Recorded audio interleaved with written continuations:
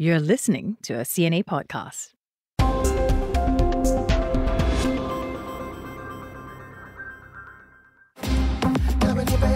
Before K pop took the world by storm, J pop led Asia's music scene.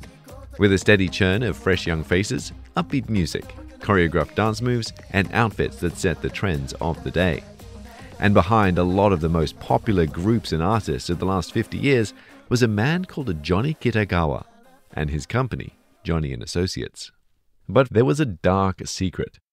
Japan's largest talent agency, Johnny and Associates, has announced that it would change its name after admitting to decades of sexual abuse by its late founder, Johnny Kitagawa. The agency also offered to discuss relief measures and compensation to victims. When this story broke, I had so many questions. Ones that you probably have too. Like, who is Johnny Kitagawa? How did he get away with it for so long? And what does this mean for the victims of the abuse going forward, as well as the industry as a whole? And to help give you these answers is our Japan correspondent, Michiyo Ishida. Michiyo, good to have you on. Thank you for having me, Steve. Okay, now let's get to it then. Johnny Kitagawa, he died in July of 2019, but tell our listeners who might not be familiar with him who he was and what place Johnny and Associates has held in Japan's pop culture landscape. Well, Johnny Kitagawa is regarded as the kingmaker of Japanese show business. Uh, he led an all male talent agency, uh, which is regarded as one of Japan's biggest entertainment agencies. And this agency was founded back in 1962. His name was stamped in the Guinness Book of World Records for over 200 number one hits between 1974 and 2010 in Japan. So there isn't anyone in Japan that hasn't heard of him or haven't heard of some of the acts that he would have been masterminding. Well, of course, everybody knows. Everybody would know. Even me, I've lived abroad for a long time, but if I um, came back to Japan, turn on the TV, I see somebody from Johnny's somebody on TV, movies, you hear them on radio, whatever media. It was just a normal thing to hear a Johnny's talent. So you remember some of these bands and these artists. I'm sure a lot of people you mixed with as well would have known them growing up with them. It goes back, you know, so many decades. What did you think about when you first heard the news break? Actually, I wasn't that surprised because we were hearing speculations of sexual abuse by Johnny Kitagawa years back. But, you know, none of the major Japanese media outlets highlighted the incident. So the surprise was that it actually broke. Really? Mm. So it was it was like an open secret. Uh, yeah, it was something like an open secret. But we do know that a weekly daily called uh, Shukan Bunshun uh, was um, doing stories on uh, possible sexual abuse by Johnny Kitagawa. However, other media outlets didn't, you know, pick up this story in a big way. Just Bunshun kept on running these stories. And actually, back in 1999, Johnny and Associates decided to uh, start a lawsuit against this magazine because they thought that they were ruining their reputation. And so took the issue to court. And what happened was that the court decided that Johnny Kitagawa was involved in sexual abuse. Wow. So this actually goes back decades then. Right, right. And how many victims are we talking about? Okay, we don't have exact figure because, you know, many were not talking. Many didn't want to talk.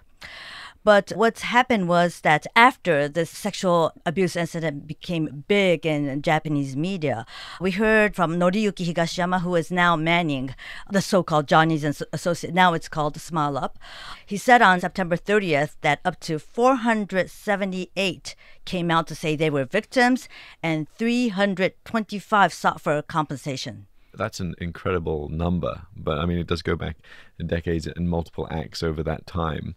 What sort of details have emerged about the abuse victims and what abuse they suffered? And how did it finally come to light? Like, what was the straw that broke the camel's back? Because these allegations of this abuse had been around for such a long time.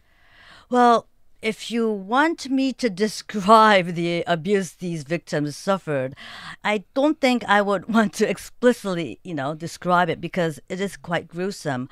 I have visited one victim, went to his home to have a private chat with him, and he told me that uh, Johnny Kitagawa would come into his bedroom from time to time and touch him. And it was pretty bad the way he was touched. It was almost like rape. I would call it a rape Anyway, he suffered this for many, many days during the time he was there. He was with Johnny for about three years he told me.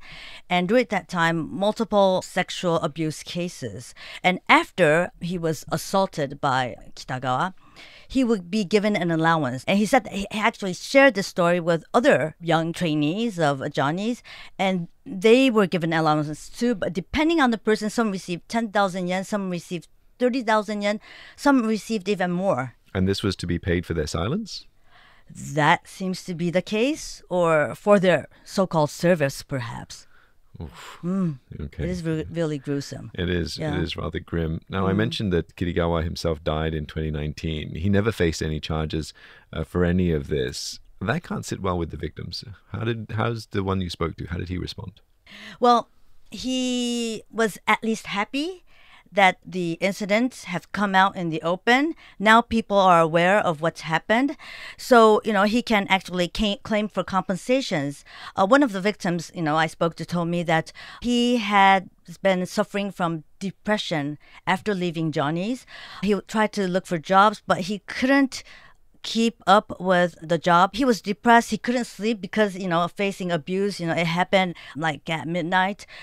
And he's still suffering from PTSD. So the victims really want to receive compensations for the damage, also psychologically. Yeah, the trauma certainly of these sorts of incidents would certainly linger on, and you would hope that perhaps now that this has all come to light, there may be some movement towards getting the compensation that you mentioned and perhaps reaching some closure. Was that something that was talked about amongst the victims?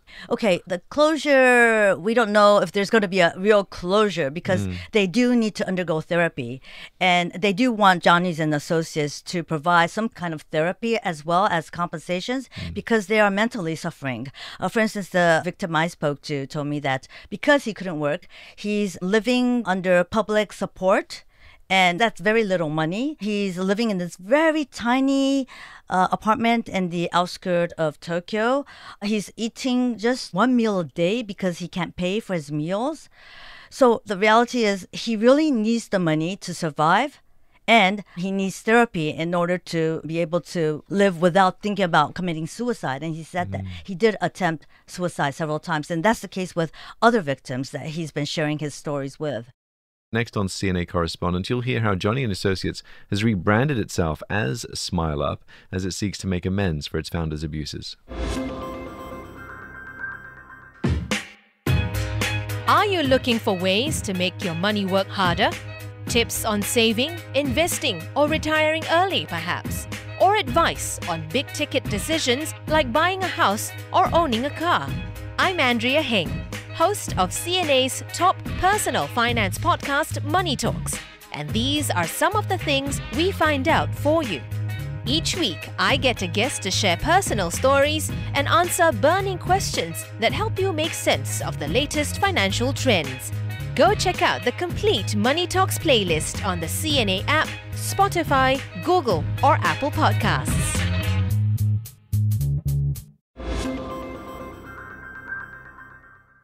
You're listening to CNA Correspondent with me, Steve Lai, alongside Michiyo Ishida, as we discuss the fallout from revelations of decades of sexual abuse at one of Japan's most well-known talent agencies, Johnny and Associates. Here's current president Noriyuki Higashiyama talking about the rebranding efforts that are underway. For For the future of the entertainment industry, we decided to start a new company. With the support of our fans, we will improve by refreshing our previous management efforts and training programs. Michiyo, tell us more about the current president then, Mr. Higashiyama. I understand he himself was one of Kitagawa's proteges and also has similar accusations that have been leveled against him. Right. Higashiyama was actually a superstar. He was a member of a three man group called Shonen Tai. They were really good at dancing and singing. And after they decided to dissolve the group, that was back in the 1990s, Higashiyama has remained successful as an actor. He played leading roles and he had his own news program. Uh, he's been manning that program until this year, actually. He married popular actress Yoshino Kimura, so he had a very good life uh, as a star. It was really surprising when we heard this year that he was taking over Johnny's leadership because we never heard of his experience with management of a company. But, you know, the fact that he's now the face would change the mood or at least the fans' a way of viewing Johnny's and Associates, which is now called Smile Up. Yes, there were allegations of Higashiyama being abusive to young Johnny's trainees, but when he was questioned about that during a news conference this year, he said that I haven't abused any of them. Maybe I was a bit harsh he did know that there were sexual abuse cases, but he was young back then, so he didn't actually take action, but he is sorry that he did not do anything about it. And did did he say if he was a, himself a victim? Uh, he did not say that. And what's been the public response to this scandal then, and to the victims that have come forward? Johnny Kitagawa has been a fixture in Japan's pop culture scene for decades. Many were surprised, especially for fans. I mean, there are many die-hard fans out there. I believe that to get tickets to even watch a Johnny's related concert was very competitive. In fact, some years back, I actually do have die-hard Johnny's fans, and they will ask me when they have extra tickets to come along. I missed one, uh, which was with SMAP, which was a very popular group. They decided to go their own ways after that year. I went to one concert of a group called KinKi Kids, and I went together with her. It was really like a big thing. And, you know, you can imagine if this negative kind of scandal comes out, the fans would be super, super shocked. And that's what's been happening. And public broadcaster NHK has been, you know, like having them on their shows many times, almost every day. And they've actually uh, decided to run an analysis program on what went wrong. Mm. Why did this happen? And why did the media remain silent? So the media is actually also apologetic about the fact that they remained silent about all this, of all the scandals that's happened, and they didn't talk about it. Yeah, there's an interesting aspect to it that the media, almost by their silence, were enabling uh, this to carry on happening and to keep on happening to these, you know, young men that were trying to make it in the industry. Has there been public reaction or backlash towards the media or, or towards the industry as a whole? Because you know ultimately these acts they themselves have been or the people involved in them have been the victims of it. And then if they get then boycotted by the public as a result they're doubly punished Right, that's right. Well, you know, a lot of um, Japanese media are deciding to end the contract with a Johnny's related artists if there's, for instance, an entertainment program that's going on and on, they deciding that okay, we're not going to work with these artists anymore when their term ends. For instance, Japanese big companies, they've been using a lot of Johnny's artists as their the main, you know, the endorser of their products. Uh, now they don't want them to be endorsers of their products. So some of them are trying to end the contract, but on the other hand, they're saying, okay, if we can sign a contract with them individually, not as a Johnny's artist, then mm. we would like to continue using them. And that seems to be happening because they do individually have very good image coming mm. out as, you know, shiny, sparkling artists, you know, kind to animals, for instance, you know, coming out, you know, uh, very warm on TV shows.